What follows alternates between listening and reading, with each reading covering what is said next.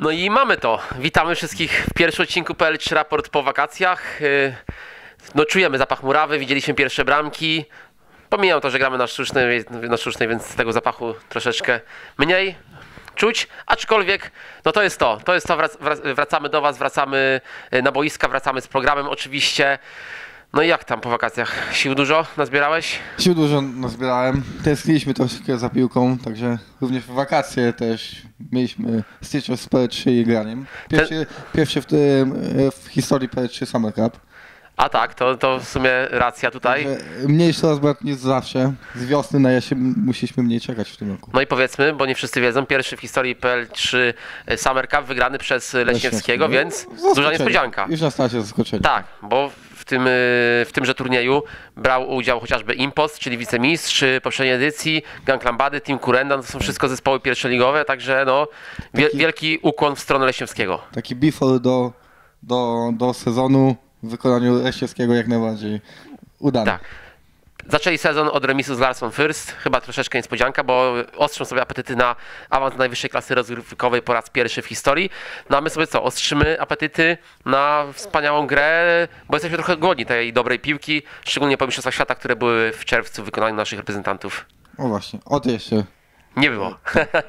Dobra, Dobra, pomijmy ten temat. pominijmy ten temat, bo byśmy się rozgadali, byśmy Tak, długo, długo tak, mogli o tym tutaj mówić. by szło. E, a, właśnie, bo tutaj e, mała gafa z mojej Właśnie strony. Na tak, powiedzmy przedstawiliśmy sobie, się. Tak, powiedzmy tutaj Mateusz Nowak.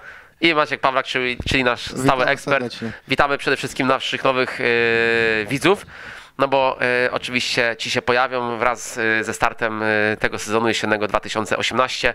Sporo nowych drużyn, przetasowania w tabelach, także o tym wszystkim oczywiście dzisiaj troszeczkę powiemy. Zapraszamy Was na pierwszy dział najpierw, czyli co nowego.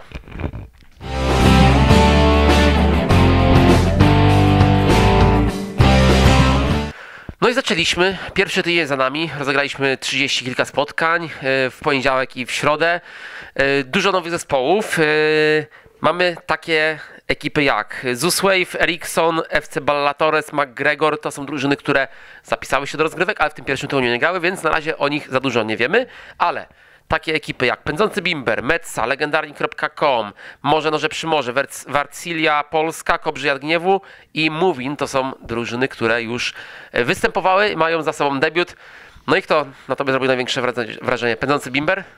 Niestety nie miałem okazji ani nikogo sędziować, a przez to nie bardzo widziałem też w akcji. Ale tu już chociażby jedno spotkanie drużyn między sobą, nowicjuszy. Tak. Kobrzy Jadriewu i Metsa, dobrze mówię? Tak, to było jedno z No tych to- spotkań. To już wy, wygrana Metsy. Czyli dwóch debiutantów. Wysoka wygrana. Tak, to, tutaj e, dużo pewnie możemy się spodziewać po Cafe Ferber, bo tam parę, parę znanych nazwisk, tutaj tumiejskie piłki. Tak jest. No zobaczymy jak inne drużyny. Tutaj, Jesteśmy również ciekawe drużyny McGregor. No, Tylko, tylko nie chodzi o tego McGregora, bo... Raczej nie będzie grał, raczej nie będzie grał. Się, czy Conor, czy nie Conor, a to Tak. jednak nie to. raczej nie będzie grał. Wspomniałeś o Cafe Ferber, to w ogóle ekipa, która tworzy pewną grupę powrotów do PL3 e, wraz z FC Bombardierami, ze Styrtą Rzesz oraz z Foką Bez Oka. No tutaj też te ekipy wydaje mi się mogą wiele odegrać. Legendarne, a i też od razu o legendarnych powiemy, też debiutant legendarni.com. Zespół y, ten przegrał swój pierwszy mecz, co prawda, ale wygrywał 4 do 1, więc y, no, potencjał jest, tylko troszeczkę chyba tutaj kondycji trzeba poprawić i, i będzie wszystko dobrze. Pierwsze punkty wpadną na ich konto. Y, Warcilia również jest po debiucie. Zespół grał z Simpro, czyli można powiedzieć naszym etatowym y, uczestnikiem 3 do 3. W ostatniej akcji meczu Piotrek Czapran zmarnował karnego. Warcilia dzięki temu uratowała remis dzięki swojemu bramkarzowi, także widać, że tutaj między słupkami stoi facet, który na tym fachu się zna. Tak. I obronić Piotra Karnego to jest sztuka. To jest sztuka, także to Pozdrawiam, Piotrek. Y, pozdrawiamy, to jesteś jedną z naszych ikon, no i myślę, że bramkarz Warcili może się czuć zadowolony i dumny, oczywiście to pewnie nie pierwszy karny, którego obroni w tym sezonie. Y, No dobra, to tyle na razie o tych nowych drużynach, oczywiście w każdym programie będziemy się starać y, tutaj każdą przedstawić pokrótce, troszeczkę szerzej niż to teraz miało miejsce, a my tymczasem idziemy do gościa tygodnia.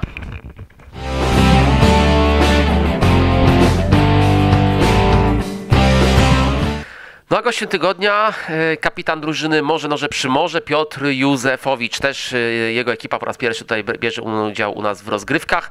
Porażka na dzień dobry. I ciężki debiut, bo od razu derby. derby Od, przy morzu, derby, tak, z Decathlonem 2 do 3. e, No, pierwsze koty za płoty, te, takie często przez nas powtarzane frycowe zapłacone przez zespół Morze Noże przy Morze, ale jest tam chociażby Adaś Trynka w, tym, w tej ekipie, który zanotował dwie asysty w tym pierwszym meczu, więc no, są znajome twarze. Tak, tam można liczyć pewnie z czasu na wyniki. Nie wiem, czy to zależy od grania, czy chłopaki z Odlika się pozbierali, ale tutaj już chociażby Adaś wiemy na co go stać i pewnie wyniki się pojawią. E, Tutaj e, też e, coś dla Ciebie, będziesz zadowolony. Bardzo liczna rzesza fanek na mecze tej drużyny przybywa, także myślę, że będziesz chciał im posędziować Dobrze niebawem. Wiemy, co w przyszłym tygodniu nastąpi. Tak jest, Maciuś będzie sędziował mecz może noże przy morze, także chłopacy bójcie się, bo Maćko nie wie co robić. E, oczywiście żartuję, jeden z lepszych arbitrów tutaj w PL3 przede mną stoi, także to mogę tutaj powiedzieć.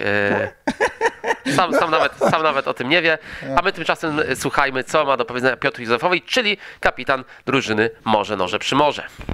E, najdrożsi z nami e, Piotr Józefowicz, kapitan drużyny Morze Noże przy Morze. Witam serdecznie. E, skąd ta nazwa? Pierwsze co? Eee, wie pan co, jestem kierownikiem firmy, która się zajmuje cięciem wodą i po prostu to jest jakby trzecią firmówka. Na Przymorzu się mieści ta firma. Ale cała ekipa, która gra jest praktycznie z Przymorza, dlatego jest Przymorze. Znacie się ze szkoły, z pracy, z podwórka, skąd? Większość chłopaków z podwórka, od dzieciaka, a ja tam kurde, już 7-8 lat się trzymam z chłopakami i postanowiliśmy, że założymy drużynę. Zielone barwy, nawiązanie do Lechii Gdańsk, czy, czy do czegoś innego kompletnie? Nie wie pan co, bo zauważyłem, że mało drużyn ma zielone koszulki, dlatego wolałem wybrać takie. No dobra, e, jaki cel macie na ten sezon? No bo pierwszy e, sezon przed wami tak naprawdę, inauguracja. Jaki cel macie, jeśli chodzi o cały sezon i jak chcecie zacząć te, te rozgrywki? Szczerze, chcemy na finisz stawki tutaj polecieć. Pierwsze, drugie miejsce to jest mus.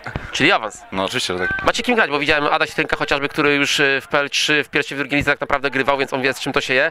Chłopacy z ATP Gdańsk, którzy w tamtym sezonie też debiutowali, także oni już wiedzą e, na czym to, e, z czym to się jest, z czym to się ma.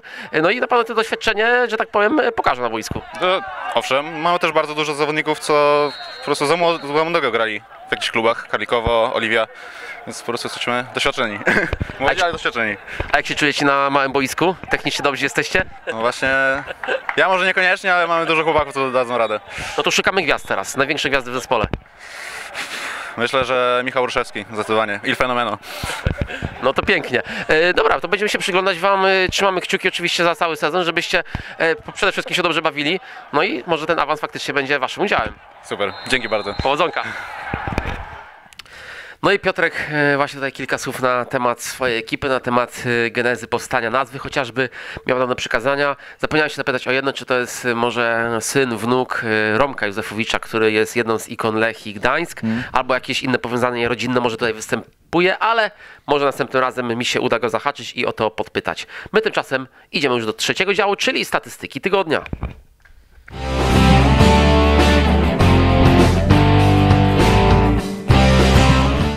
No i tutaj y, szybko, bo tak naprawdę jeden zespół wygrał wszystko, przez to, że Radio Gdańsk pojawiło się jednego mniej, grało e, z impostem e, osłabione, ale też trzeba impostowi oddać to, że wyszedł na boisko również jednego zawodnika mniej, aczkolwiek miał te zmiany, więc troszeczkę łatwo było fizycznie ten mecz wytrzymać, więc wszystkie statystyki w tym tygodniu w związku Wygrywa e, Impost. wygrywa impost. W związku z tym, że wygrał z Radiem 23 do 3, najlepszym strzelcem Mateusz Damc, 8 goli, najlepszym asystentem i najlepszym Kanadyjczykiem Dawid Karczewski. E, Krzysiek Giniewicz powiedział mi w tym tygodniu, e, czyli mm, właściciel Ego, czyli kapitan Ego, że Impost będzie bardzo ciężkim rywalem w tym sezonie. E, No, są wzmocnienia w tym zespole. Jest chociażby Sosna. Tak, tak, tak. Filip Sosnowski, czyli na dużym boisku grać lidera trzeciej ligi, to już mówi samo za siebie. Tak. No jestem ciekawy, bo jeśli Impost będzie się tak rozwijał w takim Damy tempie jak dotychczas, ligi PZP Pełnowski. Oczywiście, nie mówimy o, o, o PL3, bo no to Tak. tutaj No to się tak, kłóciło tak, sobą, jedno, jedno z drugim, by nie mógł grać w dwóch ekipach. No ale Impost faktycznie na razie zaimponował. Jestem ciekawy ich drugiego spotkania już w poniedziałek, także będziemy się bacznie im przyglądać. No tyle na razie, no niestety yy, Impost nie okazał się gościnny dla naszych przede wszystkim nowych ekip i dla yy, ich osiągnięć, no bo wszystko on zgarnął, ale oczywiście wszystko przed wami, także trzymamy kciuki. No i uciekamy już do drużyny tygodnia.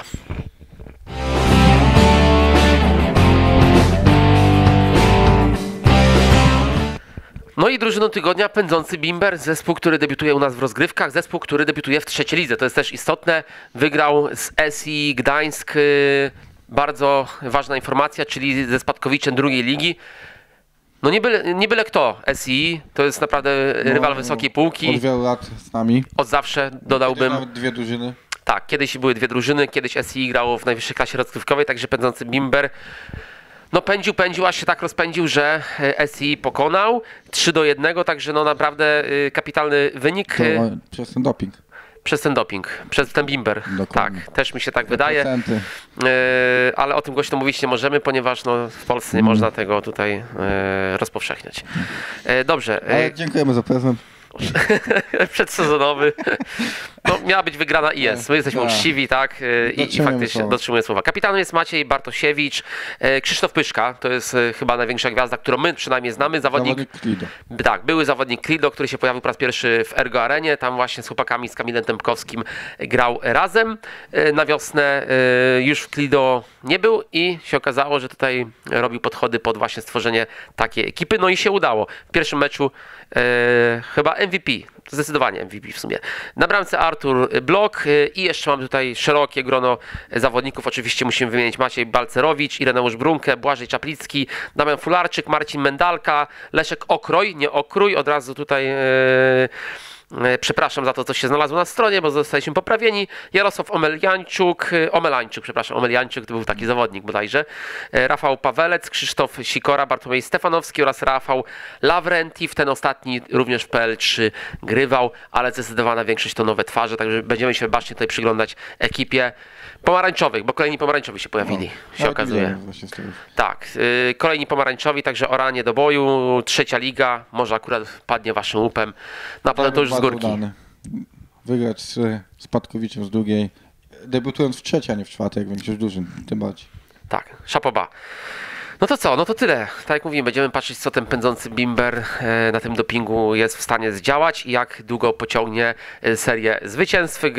Trzymamy kciuki, aby była jak najdłuższa. A my tymczasem już uciekamy do przedostatniego działu, czyli tak jak zawsze, pytanie tygodnia przed nami.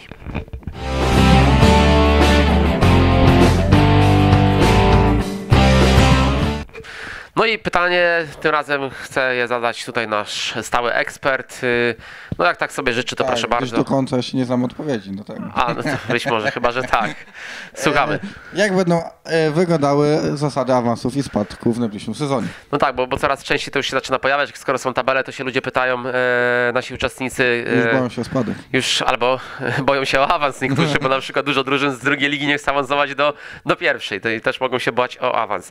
E, no co, no czekamy jeszcze, moi drodzy, tradycyjnie do drugiego tygodnia. Na, na koniec drugiego tygodnia będą e, spadki, awanse już upublicznione, będzie informacja na stronie o tym. E, będzie tabela oczywiście odpowiednio wyrysowana w różnych kolorach, e, także będziecie to widzieć na pewno. Jeśli wchodzicie na naszą, na naszą stronę, to te informacje dosyć szybko znajdziecie. No bo co, no bo jeszcze czekamy, mamy kilka drużyn, które być może dołączą do nas do, do, do nas rozgrywek, także musimy się wstrzymać i dopiero potem, jak już ostatecznie zakończymy ten proces tutaj przyjmowania nowych ekip, no to wtedy będziemy mogli z zasady spadków i awansów e, upublicznić. E, Mistrz PL3, kto w tym sezonie? Nie mogę się wypowiadać, gdzieś sędziuję. No i to mi się bardzo, bardzo podoba.